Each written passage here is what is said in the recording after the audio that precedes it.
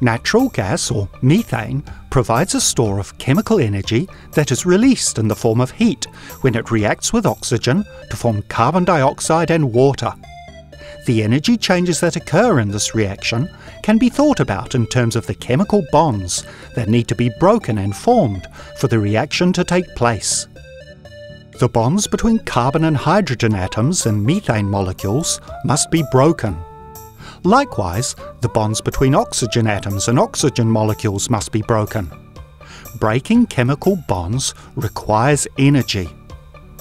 In the formation of carbon dioxide and water, chemical bonds must form between carbon and oxygen, and likewise between hydrogen and oxygen.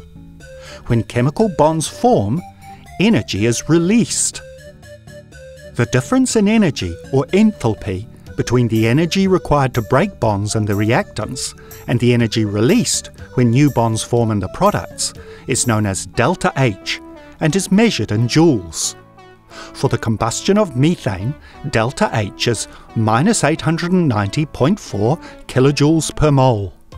This means that 1 mole of methane will release 890.4 kilojoules of heat when it is burned completely in oxygen to form carbon dioxide and water. By convention, delta H is negative for exothermic reactions, or reactions that release energy. Chemical reactions that absorb energy are called endothermic reactions and have a delta H figure that is positive. For example, the decomposition of ammonia into nitrogen and hydrogen has a delta H value of plus 46 kilojoules per mole. In this case, the energy required to break bonds between nitrogen and hydrogen atoms in ammonia is greater than the energy released when bonds form to create nitrogen and hydrogen molecules.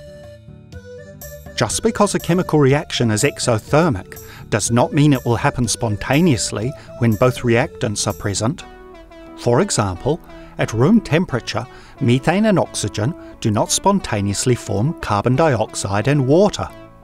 For this reaction to occur, energy is required in order to break bonds in the reactants.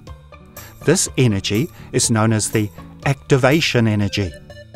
A spark, or the flame from a match, can supply the energy necessary to get some molecules of methane and oxygen over the activation barrier.